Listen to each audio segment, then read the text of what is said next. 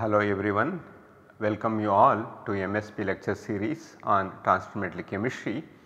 I have been discussing in the last couple of lectures about the classification of ligands by donor atoms and I completed discussion on hydrogen and we are midway with respect to carbon as donor atom. Let me continue from where I had stopped. In my previous lecture I had initiated discussion about uh, the CO analog CS. Let me start uh, about the, the chemistry of carbon thiomonoxide complexes. As I mentioned unlike carbon monoxide, uh, carbon thiomonoxide is not stable and polymerizes above minus 160 degree centigrade. So, that means free CS does not exist in a stable form and however CS compounds can be made using appropriate CS precursors and then very similar to carbon monoxide CS can be incorporated. There are examples of homoleptic CS complexes also. Let me show you preparation of few carbon thiomonoxide complexes. Before I, I start writing about uh, the thiomonoxide preparation, let me show you the coordination modes. Coordination modes are pretty similar to what we come across among carbon monoxide complexes. It can comfortably act as a terminal ligand very similar to carbon monoxide and since S is soft here it can readily bind to another soft metal in bridging fashion like this. On the other hand this carbon can also donate its lone pair to two metal centers with or without metal metal bond and it can also bridge 3 metal centers and also one can anticipate this kind of coordination also in a trimetallic system where sulfur lone pair goes to one metal and carbon takes another metal and whereas this double bond can bind to another metal. And of course, uh, you can have carbon functioning as a bridged bidentate and then sulfur can go to another one or one of these fashion. Okay. There are examples in each case. Let me show you a few examples or representative examples. Yeah, further when you look into carbon disulfide yeah, very similar to carbon dioxide it also shows uh, following uh, uh, coordination modes. You can see simple one when it binds this is how it is going to bind breaking one of the CS double bonds and then it can also bridge two metal centers in this fashion eta 2 and mu and it can also show this kind of uh, coordination and uh, where you can also come across trimetallic system in this way or one can also have something like this or this or this one. So, these are some of the standard and well known coordination modes or binding modes of carbon disulfide. Let us look into the preparation of CS complexes. There are uh, at least 2 to 3 very useful precursors are there that can be conveniently used to prepare uh, CS complexes. The simplest one is using carbon disulfide.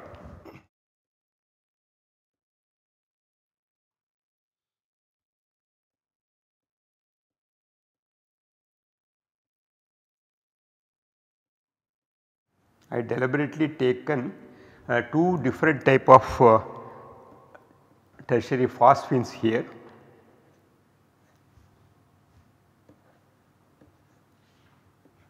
when you take this uh, iridium tris tri tertiary phosphine chloride compound iridium in plus 1 state and treat this one with carbon disulfide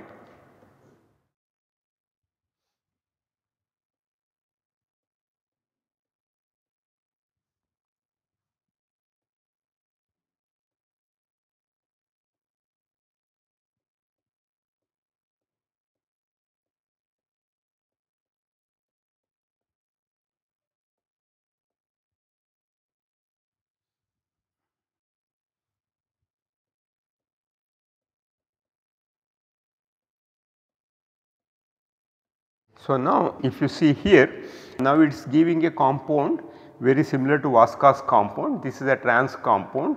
And here why the sulfur is not abstracted by triphenyl phosphine? Rather tritetrabutylphosphine phosphine because here the one that is more basic so that would leave to form this sulphide you should remember if you have two different type of tertiary phosphines the one that is better sigma donor will readily get oxidized as a result. So, here forming n-butyl phosphine sulfide and it is abstracting sulfur from CS2. And of course, if we consider another reaction for example something like this similar reaction. Now it does not have any option other than eliminating one of the triphenyl phosphine as triphenyl phosphine sulfide.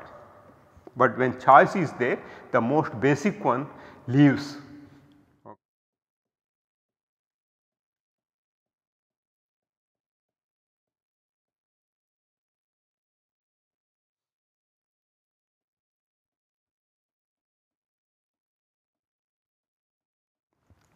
This is one method of making CS complexes.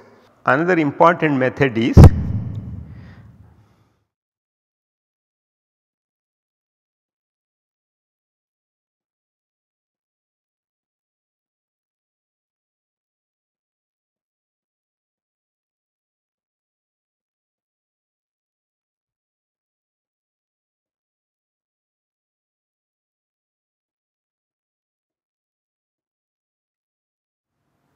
So, this is thioacetate. So, this one also can give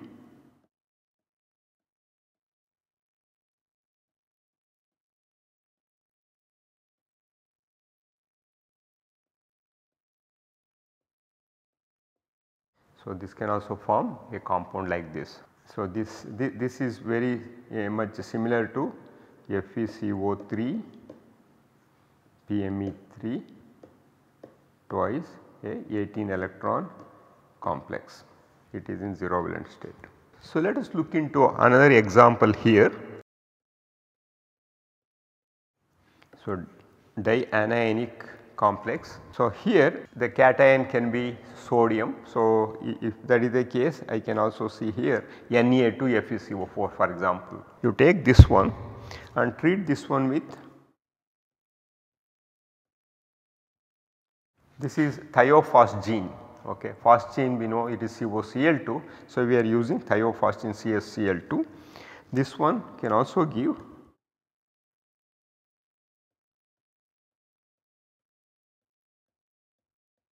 a compound very similar to FeCO5. So, this one is very similar to FeCO5. So, this comes along with so if it is uh, 2 sodium are there NaCl will come out. This is a neat reaction. Only thing is one has to be extremely careful while handling phosgene or thiophosgene they are very poisonous gases. So, this is the second method and third method in fact we, we used thioacetate, we used carbon disulfide we used and also we used uh, thiophosgene. In another method carbon disulfide can also be used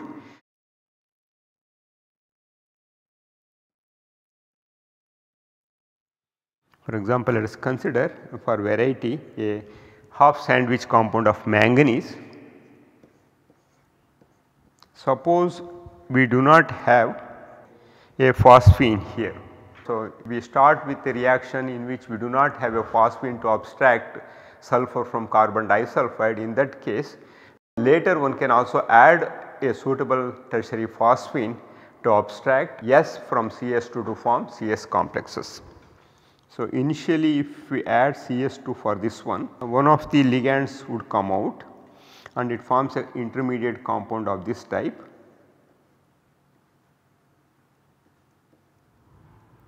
This gives you some idea how CS2 would initially bind to the metal center and eventually it cleaves one of the CS bond if phosphine is there it will abstract that sulfur to form phosphine sulfide and hence you get the corresponding CS compound.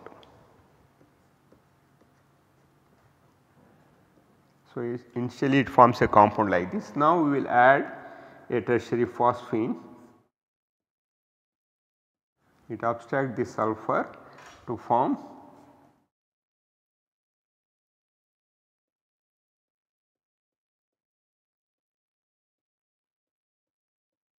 So, this is how one can conveniently use one of the available methods to make these compounds. Let me write one more method of preparation using sodium amalgam.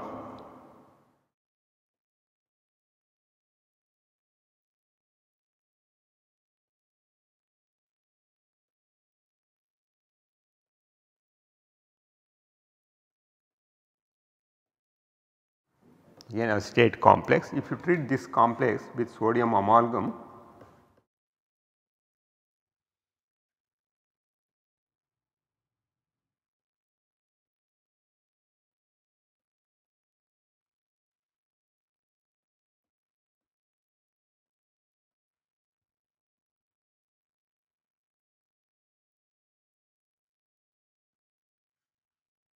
So, this is again an 8 electron species. So, these are the few methods that one can conveniently use to make thio carbon monoxide complexes. And as I mentioned again thio monoxide is a relatively good sigma donor and a better pi acceptor compared to carbon monoxide. Before I go okay I did mention about orthometallation this is another important reaction we come across in case of uh, carbon donor ligands especially when we have phenyl groups are there on a donor atom that is in close proximity to the metal you can see CH activation and then there can be some elimination or it can be added oxidatively uh, to form orthometallic compound. The first orthometallic compound was made in 1960 uh, from this reaction. Let me write, show you the first example of uh, orthometallic compound that was with palladium with uh, this diazo benzene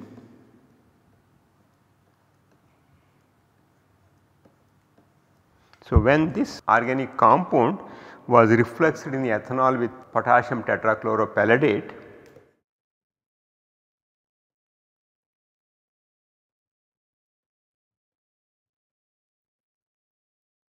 So, it resulted in the elimination of two equivalents of HCl to form a compound like this.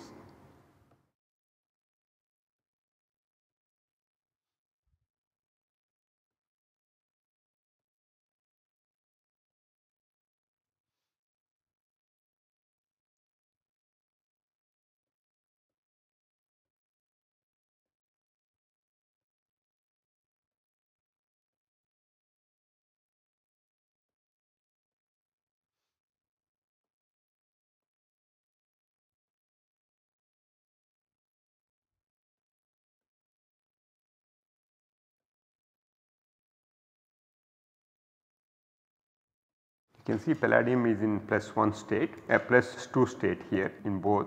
Okay, this is the first compound which shows orthometallation and later several uh, orthometallic compounds were made and also in fact uh, people planned orthometallation reactions. And one disadvantage with this orthometallation is there sometime when you are using some tertiary phosphines especially having aromatic groups uh, with not having any substituents at ortho position they can leads to orthometallation and also they can deactivate the catalyst. One such example is seen with uh, uh, Wilkinson catalyst. For example, if you take Wilkinson catalyst here with rhodium uh, tris triphenyl phosphine complex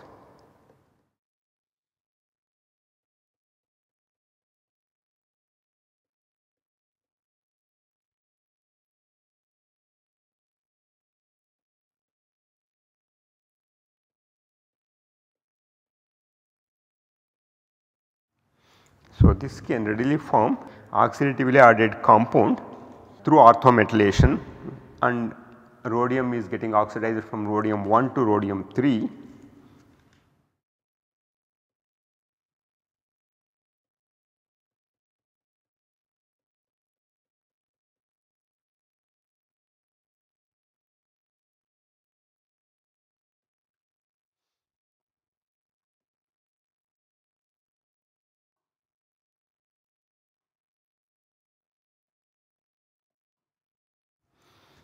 just I have shown one of the phenyl groups expanded so that uh, can be seen here. Other 2 triphenyl phosphines remain.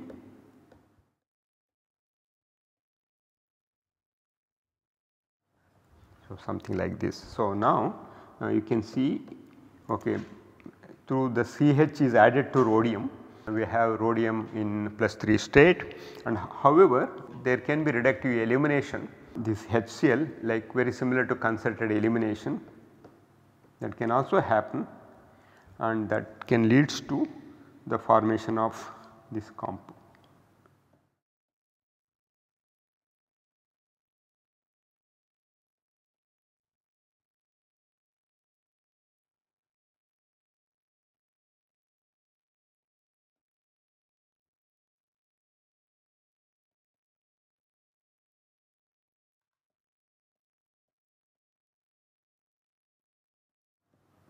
This, so, this is a, a typical orthometallation reaction one can see especially with triphenyl phosphine or any bisphosphine having phenyl substituents.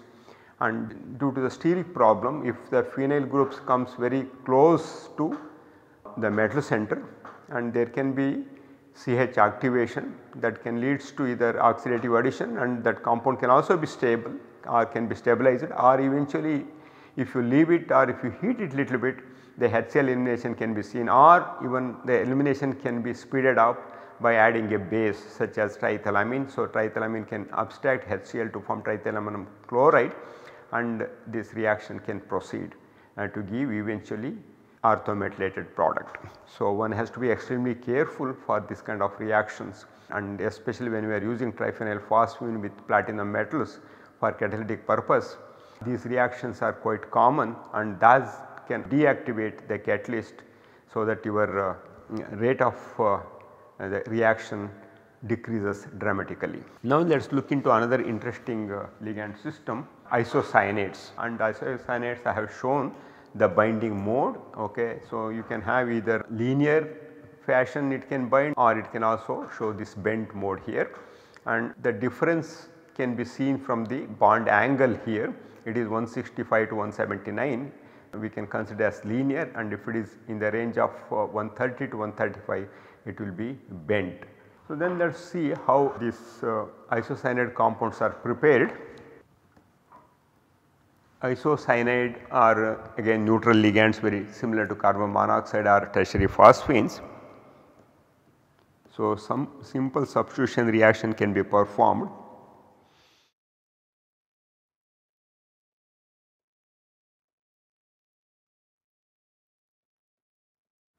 This is a general reaction I am going to write.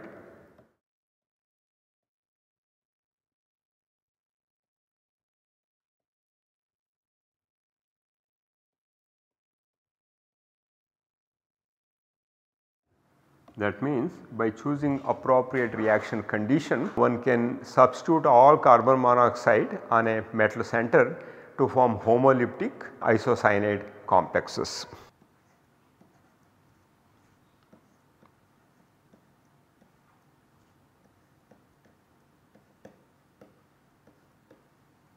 You take this again 0 valent complex treat with CNR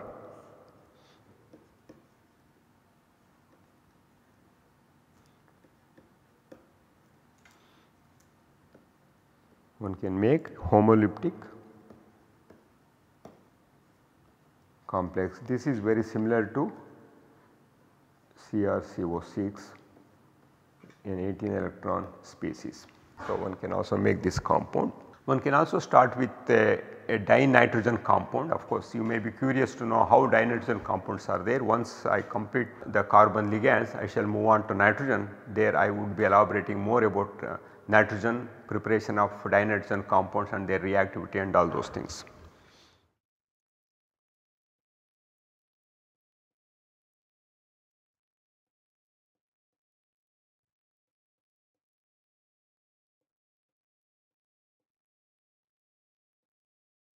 If you take bis dinitrogen complex of molybdenum or tungsten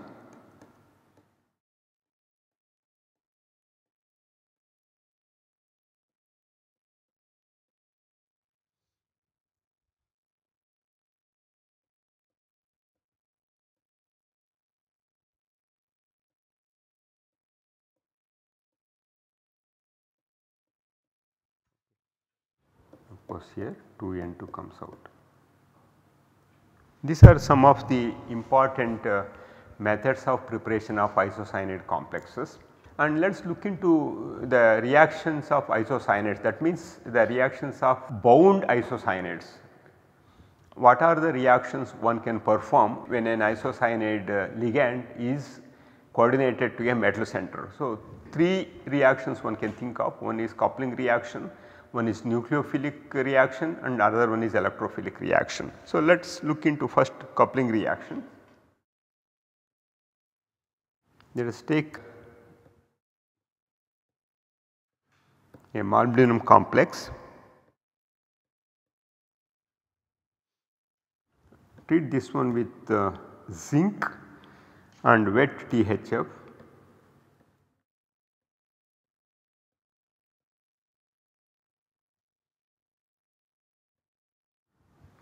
wet THF will take care of this one.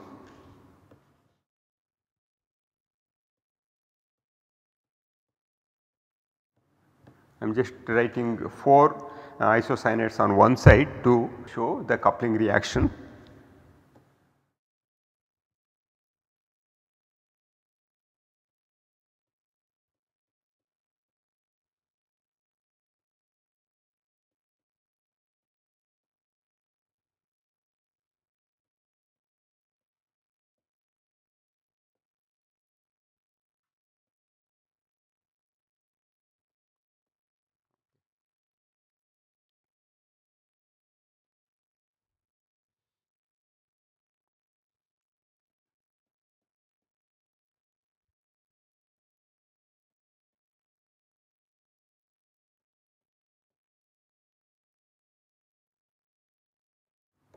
This is a, a dimeric complex of niobium when it is treated with uh, isocyanate. Of course excess of isocyanate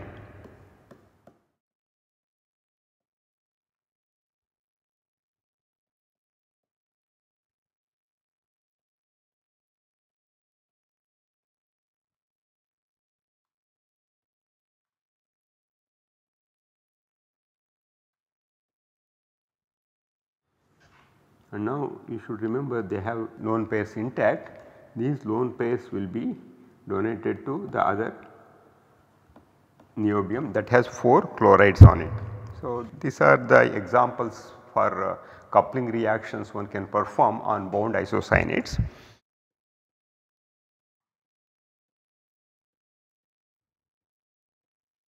Let us take this one and uh, treat this one with methyl iodide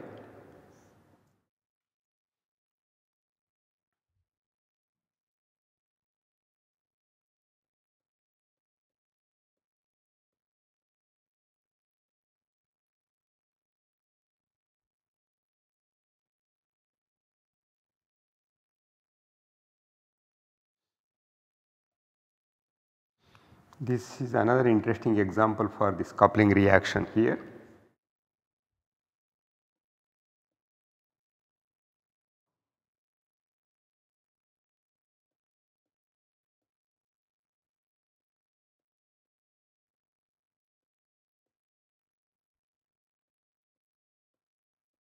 It gives metallated compound of this type.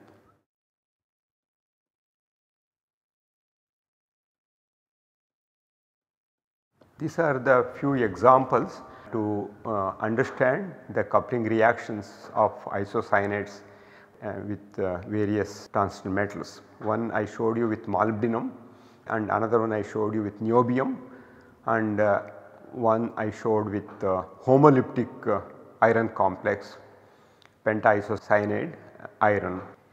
So, let us look into reactivity more reactivity of uh, bound isocyanates in my next lecture. Thank you.